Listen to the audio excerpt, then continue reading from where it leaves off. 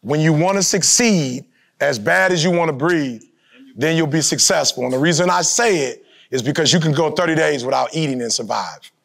You can go three, four days without water, but you can't go without air. Once you lose that air, that breathe that into your brain, brain dead. So you only get a couple minutes of not breathing and you can lose your entire life. So that's why I don't say when you want to succeed as bad as you want to eat or when you want to succeed as bad as you want water. I say when you want to succeed as bad as you want to breathe, yeah. then and only then will you be successful.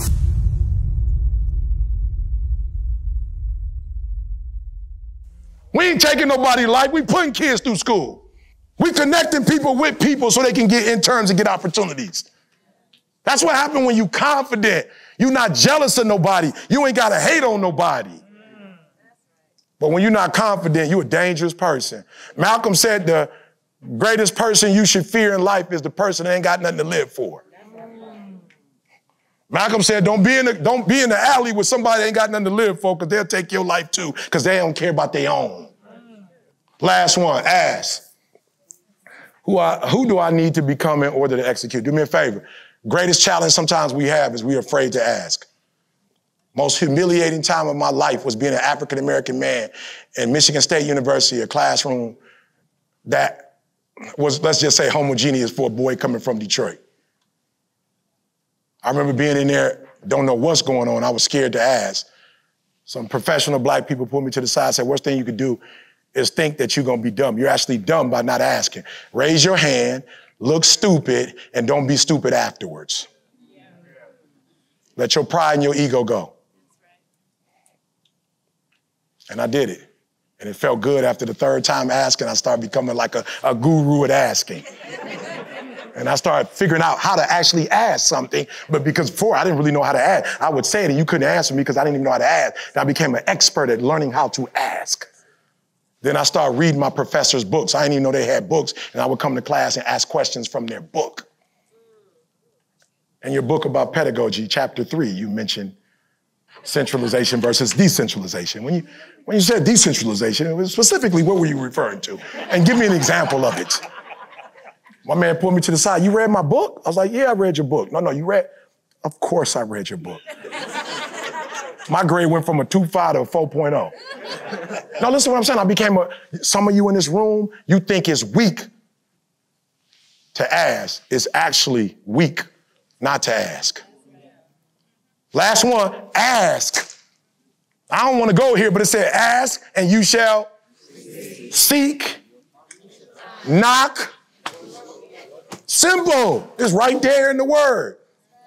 But you can't get what you don't ask for. I leave you. The giants of the past were great, but we need gi- giants of the present. We need giants of the present.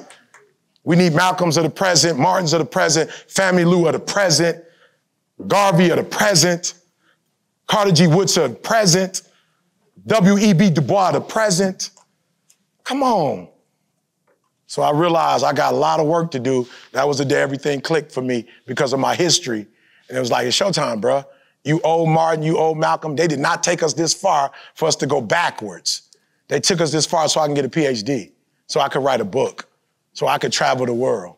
So that's, that's what woke me up that day. And you won't defeat me was not about you won't defeat me. It was like the, the, the good and the bad Eric. The other Eric is the one who's always destroyed me. It's never been nobody out there. It's been this Eric with some of the stupid, dumb stuff he'd be doing. And so I went against him and said, You won't defeat me. That, that spirit that has traveled from generation to generation, my uncles, my father, you will not destroy me. So that's who I was talking to myself. But I said, if you want to be a diamond, you got to go through what a diamond goes through. That's pressure, that's extreme heat, and then it's got to get cut. So most of us fall out either the pressure too much, the heat too much, or we don't want to get cut. But to get to a certain level, you got to go through all that to get to where you are.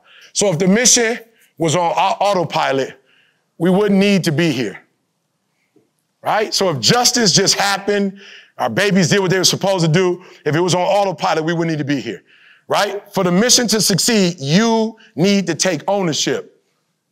and you need to fly the plane. Just, real quick, I'm taking ownership. I'm taking ownership. I'm on, I'm on Instagram every day. Three videos a day. We pouring them. I'm taking ownership. I've been doing this for since 2006. I'm taking ownership. Huh? I ain't on there bragging on Instagram. I ain't, I ain't show you the car and walk you through it. That ain't even got nothing to do with you. I bought that for my wife. That don't got nothing to do with nobody. I ain't about to show nobody nothing. I'm about to get on and give you this fire. I'm about to give you the spirit. I'm about to pray over it. I'm about to send it out. I pray that whatever you hear, the Holy Spirit is going in your room and telling you whatever you need to say. I, I, I'm taking ownership. I need somebody before you leave. Stop being scary. Take ownership of something. If you don't take ownership of nothing but your kids, Go tell some father out there, bruh, I don't care what you and his mama going through. Go take ownership. I don't care what kind of drama. Go take, that baby ain't got nothing to do with what y'all going through. Take ownership of yours. Biggest, biggest, ah, one of my biggest regrets. My last name ain't Thomas, I'm Eric Monday. But because my father didn't step up to the plate and do what he was supposed to do, some other man had to name me and give me his last name. So every time I do my thing, my family don't even get the credit for it. I probably got cousins that's Mondays. They don't even know who I am. They don't even know we related. Why? Because the person that brought me in this world never took ownership. Somebody else had to come in and say, I'll help you raise your child. Take ownership. Do me a favor. Whatever you, I don't care if it's your dad, whatever, father, mother, I don't care. You are, whatever you are in the community, whatever. I don't care what you are. Whatever you are, can you take ownership of it, please? I took ownership. I found out my people was coming to Western. I ain't from Western. I ain't from Kalamazoo. I called Dontre. We talked. He said, E, I got her. I'm like, if you got her, I got you. I took ownership. This is my people. This is my family. I'm going to use my name and my recognition to help my people. We ain't talk 200 grand. I was just like, bro, what can you do? He's like, bro, we ain't really got money like that, but the book. I'm like, whatever. How many you getting? He's like, bro, we're going to try 200. I was like, I just want to know how many I need to sign. What you need me to do? Are you hearing what I'm saying? You got to take, nothing great happens by osmosis. Nothing great happens by happenstance. And I ain't talking about being perfect. I'm far from it, but I take ownership.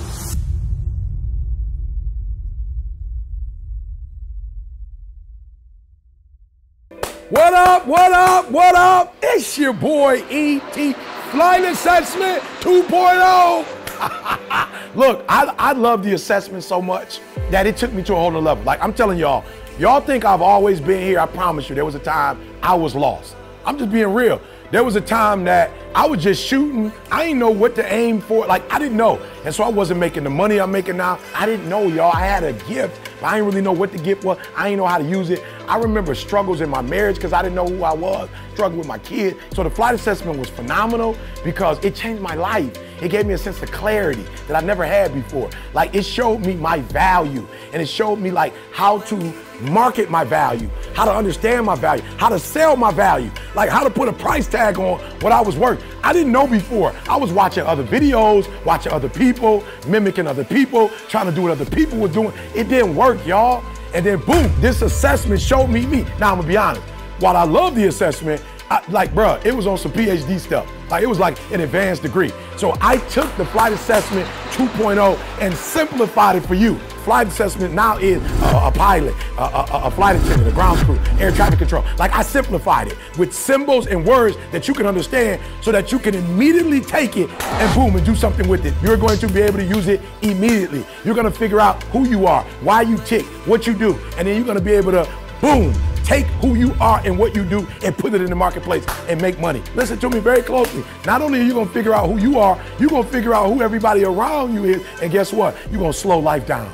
You're gonna slow the game down and you're gonna be able to do and be and have stuff you've never had before. So do me a favor, listen to me. In 15 minutes, your whole life is gonna change. Like I look, I revamped the whole thing. I made the investment. I, I, studied this thing for five, six years. I studied you. I got it, y'all. I got it. It's gonna take 15 minutes. And in 15 minutes, you gonna know you like you've never known you before. you gonna have resources. you gonna have the people that's gonna be able to help you. You're gonna be able to go, be, do, have everything you've ever dreamed of. You're gonna speak with clarity. You're gonna move with clarity. You're gonna think with clarity. You're gonna write with clarity.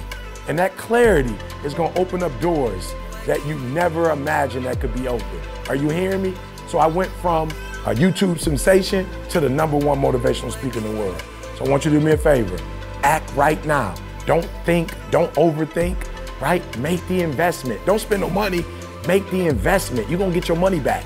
Click the button, register, sign up, and do me a favor, bro. I promise you, when you do, after that 15 minutes, you are about to make the rest of your life the best of your life. It's your boy ET. The flight assessment has revolutionized my life and my family's life and my family's coming life. Let it revolutionize you and your family to come.